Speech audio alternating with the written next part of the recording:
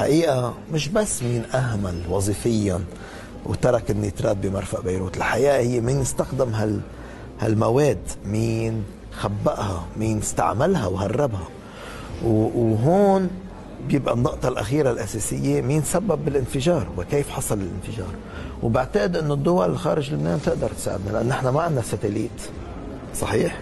نحن استقدمنا خبرات من ال FBI الأمريكي من المخابرات الفرنسية. لأنه أنا لا أرى انفجار بيروت أتى بمعزل عن الأحداث اللي تراكمت علينا. من الحصار المالي والاقتصادي علينا من الثورة الملونة يلي مولت وكانت تستهدفنا بموضوع الحدود. أنا طلبت باعتماد خط هو بسموه خط الوسط تقنيا بحسب قانون البحار بخط يعتمد القانون الدولي يضع خبراء دوليين أو شركة دولية متخصصة تساعدنا بالاتفاق عليه. بهيدا الوقت تتوقف أو تمتنع إسرائيل عن القيام بإنتاج النفط والغاز من منطقة متنازع عليها.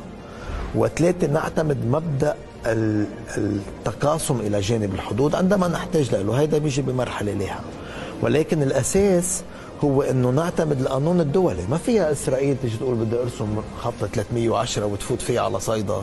نحن ما يهمنا هو العلاقات بين لبنان والمملكة العربية السعودية اللي بنريد إنها تكون علاقات جيدة وممتازة تحل فيها المشاكل الموجودة بالتفاهم وليس بالفرض وتحفظ فيها حقوق كل كل دولة ونعرف مصالح مصالح بعضنا.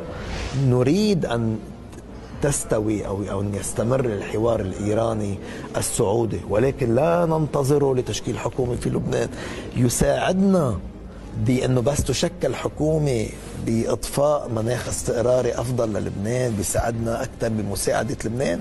ممتاز نشجعه نريده ونعرف إنه يمكن لبنان يستفيد منه. ولكن لا نجمد الحلول في لبنان ولا نؤلف حكومة في لبنان بانتظار أن تحل المشكلة بين إيران والسعودية أو بانتظار أن يعني يسوى الملف النووي الإيراني.